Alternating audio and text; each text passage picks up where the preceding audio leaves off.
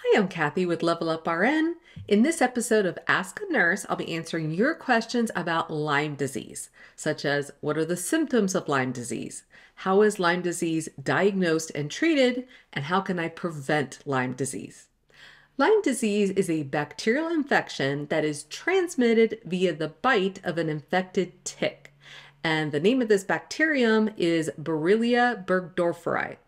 A tick typically needs to be attached for 36 to 48 hours in order for the bacterium to spread from the tick to the person.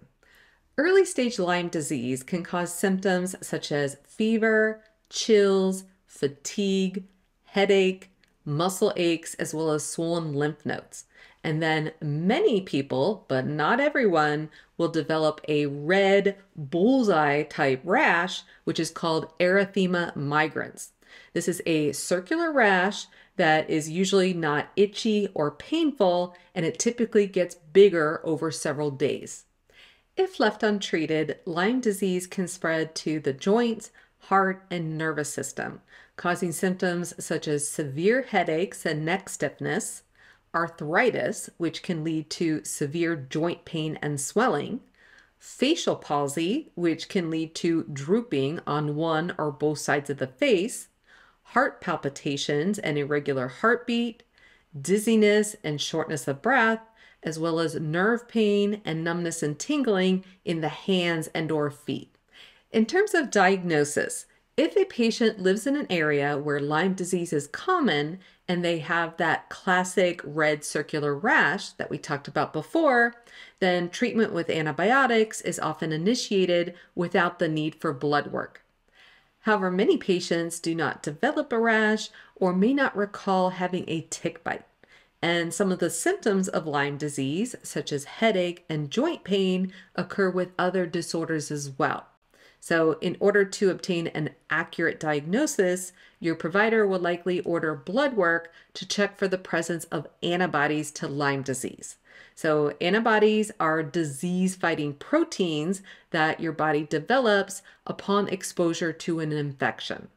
Lyme disease is treated with antibiotics such as doxycycline, and the earlier that treatment is started, the better the chance for a complete recovery.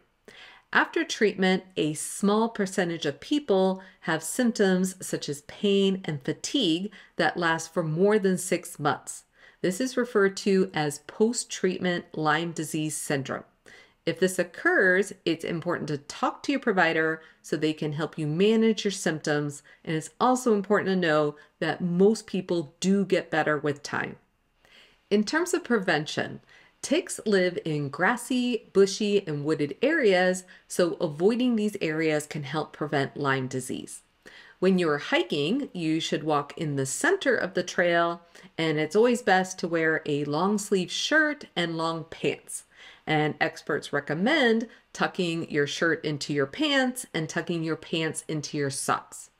In addition, treating your clothing and gear with a repellent that contains 0.5% permethrin is also advised. After coming indoors, you should check yourself, your children, your pets, and your gear for ticks. And it's definitely important to be very thorough.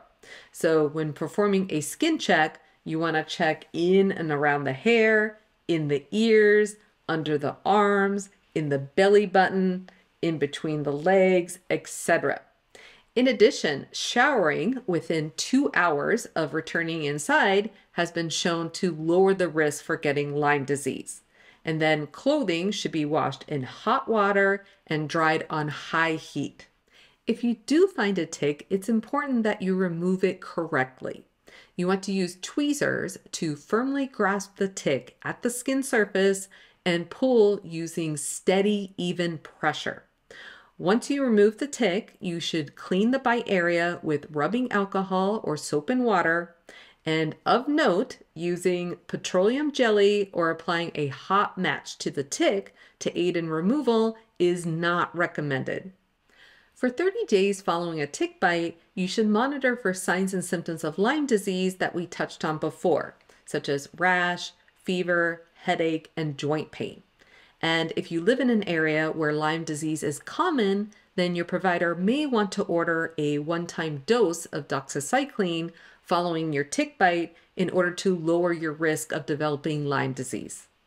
All right, that is it for this episode of Ask a Nurse. I hope you found it to be helpful. If so, be sure to hit that like button. And if you have a health topic or question you'd like me to cover in a future episode, then definitely let me know in the comments. Stay informed and stay well.